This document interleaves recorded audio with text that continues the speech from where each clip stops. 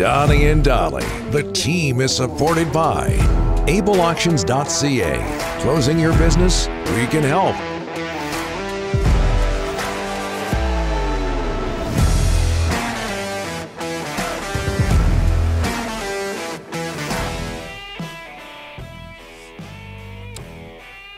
Our guests today, including Ross Tucker and JP Barry, who's standing by, are sponsored by Basant Motors. Basant Motors is turning the big 3 0. They had the big event uh, yesterday, which Rick hosted, and they are ready to celebrate with some amazing deals. Find out more at basantmotors.com. Uh, the extensions for Quinn Hughes and Elias Pettersson with the Canucks were announced officially yesterday. Here to talk about that from CAA hockey agent JP Barry. He's becoming a regular, by the way. How are you, yeah. sir? Very good. How are you guys? Good, good. The question that a lot of people are asking, JP, what took so long?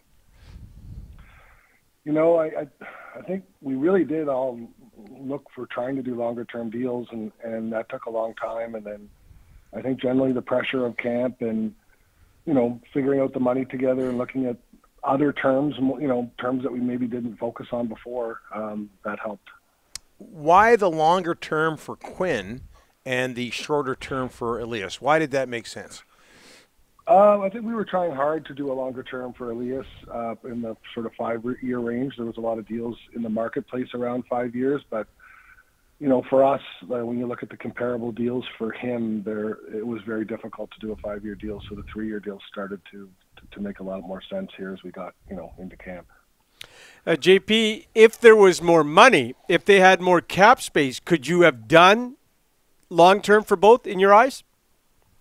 Yes, I think so. Yeah, I mean, but that's the reality of uh, the reality of the cap. I mean, uh, you know, sometimes you can be patient to see if more cap space comes about. Um, but you know, once we got to camp time, that you know that was the cap space, and you know, we weren't able to do, you know, both long-term deals, but I think, you know, um, like I said, Elias uh, came around to seeing that a good three-year deal made sense, like it has for a few of uh, a few younger players lately.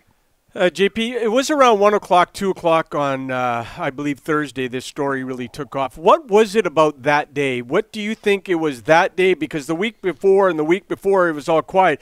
What do you think was the pressure point that got this thing moving real quick?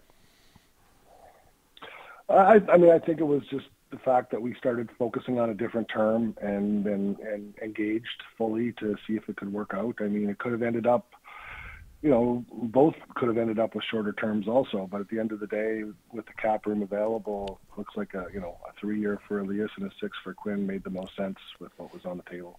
JP, let's go back in the summer with Elias Pettersson's comments to the Swedish media about I want to be on a winner. I got to win. I got to win. I don't want to be losing, you know, throughout my National Hockey League career. What did you think about those comments when he said them in Sweden, JP? Do you want your player to say that I want to lose and well, I'm happy losing it. in Vancouver? Yeah. well, no, but not every not every player comes out like that during a negotiation time, too, JP. Well, that's what he wants. I mean, he believes in himself. I mean, he's a confident player, and he wants to, you know, help the team get to the next level. He he likes it in Vancouver. He he wants to stay there, and he wants to win. I don't think there's. I think those are things that all are aligned, and you know, this team has to take some steps to get there. What's it like negotiating with Jim Benning? Um, I'm. I mean, Jim's Jim's very good. Him and Chris Gear worked side by side on this from the beginning, and uh, I mean you know, it was a difficult negotiation. The cap has made a lot of these recent negotiations difficult. It's no different than I went through it last year with uh, Mathew Barzal and Lou Lamoriello. I mean, Lou had to open up cap room really during camp to to get even a three year done. So you know, the cap makes these some of these negotiations really difficult at this stage. Like, not every team has cap room to sign high end players. What are the pros and cons, JP, of uh, dealing with two RFA teammates? at the same time, trying to get extensions done? Um, I think I think um, the pros are. I mean, these guys know each other really well, so they're discussing it together. They're discussing all the reality of the amount of money that's on the table and what makes sense. So there was, you know, really open conversations between all of us, and I think that helps. What can you tell us about uh, your client's fitness?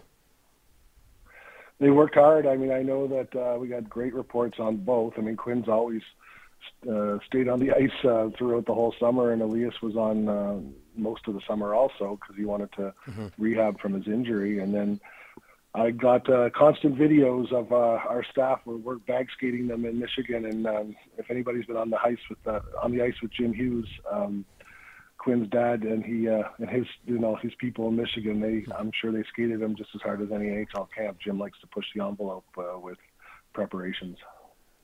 You were bag skating him in Michigan. That's that.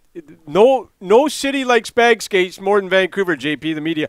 Uh, I'm going to ask you about another client of yours, a former Vancouver Canuck who's having a good preseason, JP, and that's Loui Eriksson. Talk a little bit about oh. uh, how he's doing right there right now. I know you just want to stir it up, don't you? well, uh, Canucks Twitter is saying he's doing really well. He's we, got we make JP talk about Loui every time he's on. You have to talk about Loui. Come on, did JP.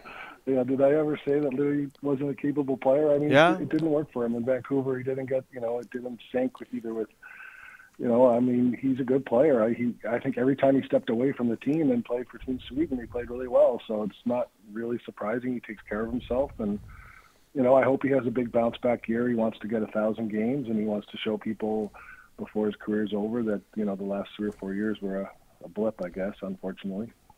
Uh, JP, the Sedin twins. Uh, any? Can you give us an update on how they like uh, life and management? Uh, they seem to be pretty active. Uh, every practice, every game at the rink, all the time. You know, I left them alone here for the last month as we were into the negotiations. Right, yeah. I'll probably check back this week. I just felt it was better to let them do their thing on the team side. So I, you know, I, I'll, uh, I'll find out how things have been going here soon. JP, um, I don't know how much you can say, but Jack Eichel is also a CAA client. What's in his uh, immediate future? Yeah, I mean, we're, you know, Pat and uh, myself and our whole staff are just, you know, doing as much work as we can on the medical side and getting as many opinions as possible and sharing that with the team and trying to get both sides talking to each other about solutions and you know the PA's helped out. So I mean, we're just going to have to keep grinding on this and and seeing if we can have a breakthrough on on what's a really really difficult uh, situation. What's his state of mind like right now, JP? I mean, I think he's as as he should be. He's frustrated and he wants yeah. to get moving. So yeah, we gotta. You know, we got to move forward. It's a player's health, and he needs, uh, you know, we feel he needs treatment um, in a short, you know, a short course, and hopefully, it's, you know, get moving on this as soon as possible. Thanks for this, sir. Short notice. Appreciate it again. We'll have you on next week. Thanks, guys. Thanks, guys. Talk soon.